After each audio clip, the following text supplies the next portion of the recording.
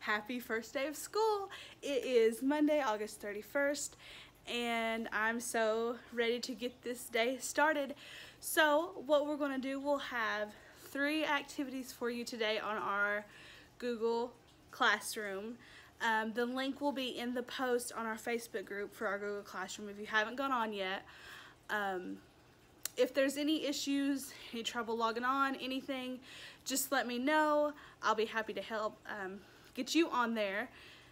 Our classwork will say Monday, August 31st assignments. So click that on that Google slide.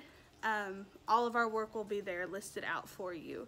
So our activities for today will be watching Pete the Cat rocking in my school shoes, um, and decorating our own school shoes, a version of Pete's and a version of our own.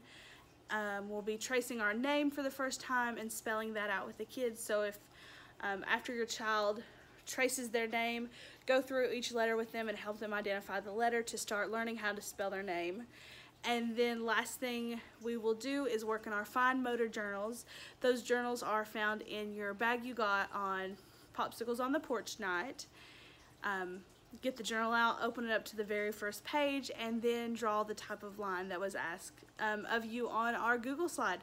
So it should be super easy work. Um, if your kids don't want to sit down and do the whole thing at once, you don't have to make them. Take breaks, do a brain break, um, get up and walk outside, um, just take a break in between them. You don't have to make them do it all at once, and that's totally fine. Um, and again, if you have any questions or concerns, please let me know. I will be happy to help you out. Happy first day of school. Hope you have a great day. Bye, guys.